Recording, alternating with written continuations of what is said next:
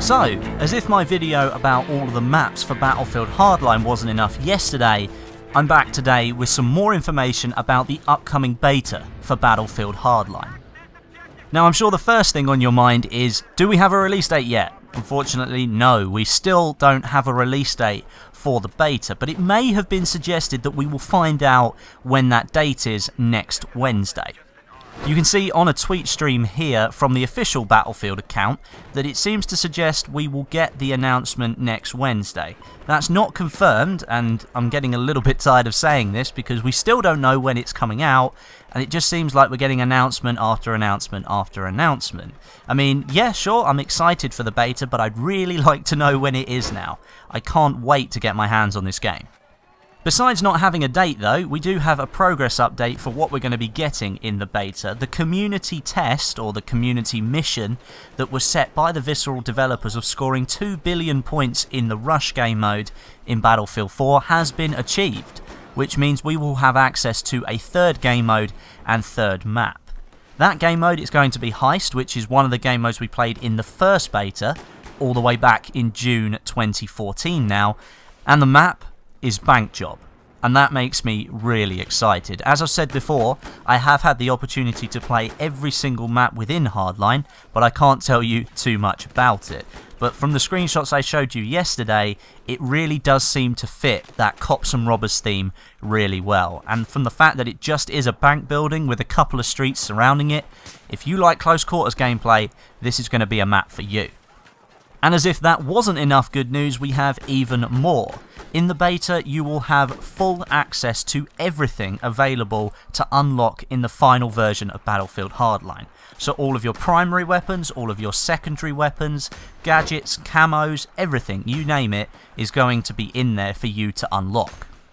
The catch is, you have to play the game as much as you want to be able to unlock something. There isn't a linear unlock process like Battlefield 4, for example. You first of all unlock the AK-12, and then you unlock the next assault rifle, and then the next assault rifle. In Hardline, it doesn't work like that. As you play a game, you will build up cash that you get for doing team-based objectives within the game itself. So if you kill an enemy, you're going to get some cash for that. If you take an objective, you're going to get some cash for that. So as that builds up, you then have the option to either save that cash and unlock something further down the line, or you can spend it right away on something that's a little bit lower down the table. Now I don't know about you guys, but that does sound like a really interesting prospect to me. I have full control over what I unlock, and I think that's how most games should work. I really, really liked that system in the original Black Ops game for Call of Duty, where you had to build up the money that you wanted to unlock something, and depending on how good a weapon was, you had to sort of build up more cash in order to unlock that.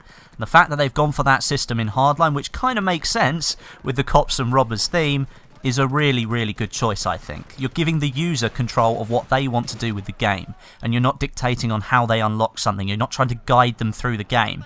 You're basically giving them full control and access to what they want to choose.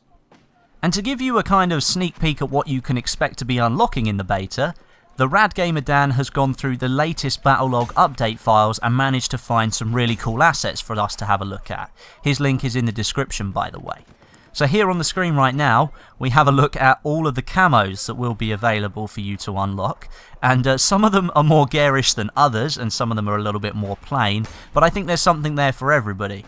But I really do admire the ballsy attitude that the devs have got with this game. They really don't seem to be going by the rules at all, uh, at least for a Battlefield game. And I think that's really cool. And next up, we have what looks like the gold, silver, and bronze weapons that you can get within Hardline. Now, if rumour has it, these camos are going to be extremely hard to obtain and I'm not sure if it's weapon specific or if you can grind out the camo for everything that you then unlock. At the moment I'm unsure whether that's the case. I'd like to think that it was individual for each thing within the game. Imagine being like one of the only people in the game to maybe get a gold camo for the AKM for example. I'm sure lots of people will end up getting the gold camo for the AKM but imagine getting that. You, you kind of earned that. I think that would be a really cool way to go forward. There are plenty of other things that have been found today, but I don't really know if it's worth going through all of them. So what I'm going to do is link an Imgur gallery in the description that's been collated with all the different things that have been found in the Battlelog code today. And I will also link a Reddit link as well so that you can have a look at some of the weapons, at least in text form, that you can expect to be using as well. Phew, we managed to get through it all. I didn't think we'd get there, to be honest. There's a lot of information coming out for this game right now, but I want to say a massive thank you to you guys. You've been really, really supportive of Hardline since I started doing these news videos. I think it's really important that I keep you guys up to date. I have an ever-growing subscriber base. I've now passed 70,000 subscribers, and that's only happened in a very short space of time, and it was not long ago that I was at 60. So thank you so much for subscribing, and I just want to repay you guys by carrying on making the videos that you really like to watch. So I hope you're enjoying my coverage and as soon as we get access to the beta, you know I'll be all over it. But thank you very much for watching today guys, that is the end of the video. If you enjoyed it, if you could leave me a rating and a comment, that'd be greatly appreciated. But until next time, my name is Westie, and I'll catch you guys in the next video.